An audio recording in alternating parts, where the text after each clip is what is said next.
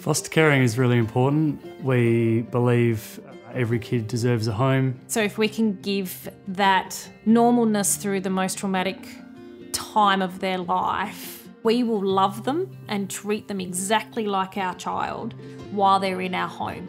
So we found out about Wanslea through a friend and we liked that there was other people there to work with you alongside with you and they do help us out especially our family support officers have been fantastic if we need something in particular like we just had some things dropped off because we had um, some kids come into care as emergency and literally didn't quite have enough things Emergency care is basically you can get a phone call at any time. They require immediate care for a child. It, it gets them away from somewhere where they may be experiencing trauma.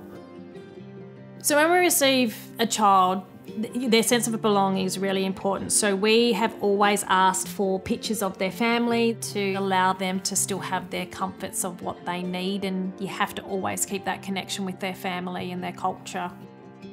We firmly believe kids should be with their family, and sometimes people just go through a difficult phase. And we know it takes a village to raise a child. Sometimes these people don't have that village, so then we become that village for them while they're going through their tough time. For anyone thinking about going into foster care, I would definitely say give it a go. We've grown ourselves personally, but we've, we've also expanded our knowledge of, of different kids in care, cultures, backgrounds, We've impacted their lives in a real positive way. There are so many kids that need care. There's not enough carers.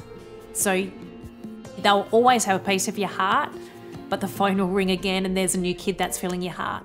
And that's why you keep doing it because, yeah, they need a little home somewhere.